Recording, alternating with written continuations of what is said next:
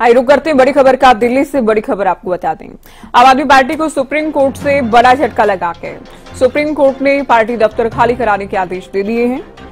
15 जून तक पार्टी दफ्तर खाली करने के आदेश दिए हैं। तो राज्य कोर्ट को आवंटित ज़मीन पर दफ्तर बनाया गया है और अब अदालत की ओर से कह दिया गया कि पार्टी इस दफ्तर को खाली करे।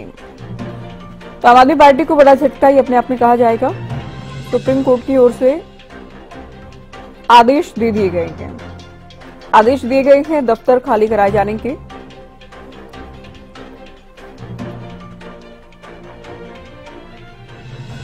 तो बड़ी खबर दिल्ली से आपको बता रहे हैं। आम आदमी पार्टी से जुड़ी बड़ी खबर। आम आदमी पार्टी को झटका ही इसे कहा जाएगा, क्योंकि पार्टी दफ्तर खाली किए जाने के आदेश दिए गए हैं। पंद्रह जून तक खाली करें राव जेएनयू राव एवेन्यू स्थित पार्टी दफ्तर कहा गया। है सुप्रीम कोर्ट की ओर से आम आदमी पार्टी को बड़ा झटका।